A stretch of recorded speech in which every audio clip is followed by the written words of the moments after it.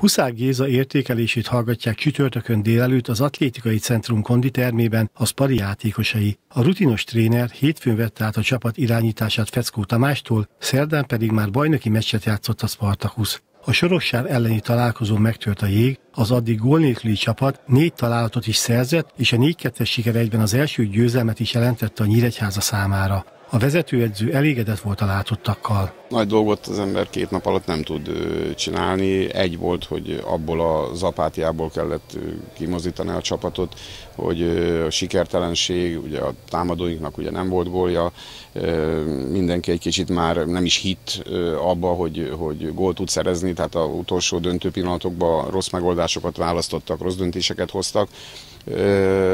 Hát ilyenkor persze mindig van egy új edző, mindenki bizonyítanak, akar, ugye ez ilyen általános mondatok, de hát én biztattam a támadóinkat is, meg a védőinket is, magas embereink vannak, nem fejeltünk gólt a három meccsen, a előlévő embereink azért bizonyították már többször, ugye, hogy tudnak gólt rugni, hát ezen kellett átesni, hála jó Istennek, hogy nagyon jókor rúgtuk az elején, vagyis fejeltük, ugye a Csanád rögtön ugye az elején egy szép beadást befejelt, aztán ugye rárugtuk a második gólt, hát ezek mind, mind ilyen lélektani pillanatok voltak, ami nagyon kellett a srácoknak, hogy átlendüljünk ezen a holponton. Ráadásul ugye nem volt egy egyszerű, tudom, hogy az MB2-ben egy meccs se könnyű, de ez a soroksár kimondottan a jó csapatok közé tartozik, amit igazoltak is. A forduló további eredményei a következők, Szombathely Szeged 0-1, Csákvár Tiszakicske 1-1, Moson-Magyaróvár Kazincbarcika 1-2, Dorog Szent Lőrinc 2-1, Eto SC Győr Siófok 4-1, DVTK Ajka 3-1, Kozár Misleny PMFC 0-0, Budafok Girmót 0-0 és Békés Csaba MTK Budapest 1-4. Huszák Géza jelen állás szerint az őszi szezon végéig irányítja a csapatot, és bízik abban, hogy folyamatosan fejlődik majd a Spari játéka. Ugyanazt a csapatot szeretném látni, amit tegnap láttam, hogy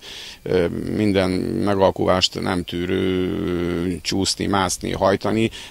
Ezek is olyan szép mondatok, de én azt szeretném, hogyha futballoznánk is, mert a futball azért az egy játék, tehát az, a, az az alap, hogy megy mindenki és teszi a dolgát becsülettel, futunk, hajtunk, ütközünk, érkezünk a kapu elé. Tehát nagyon sok minden van, és persze mellette használni kell az eszünket, megpróbálunk olyan egy-két játékrendszert begyakorolni, ami, ami működik, amivel esetleg ha menet közben váltani kell, most hagyd nem menjek bele taktikai részletekbe, hogy hány támadó, meg hány középpályás, meg hány védő, tehát azért ebbe a keretbe sokfajta játék lehetőség benne van magasak is vagyunk, jól is fejelünk, bizonyítottuk a tegnapi mérkőzésen, vannak nagyon jó pontrugóink, reméljük a Pantovicsnak is megjön a játékengedélye, reméljük, hogy a Ramos is felépül, és ő is a segítségére lesz a csapatnak. Tehát nagyon sok minden jár a fejemben, nagyon az elején vagyok még.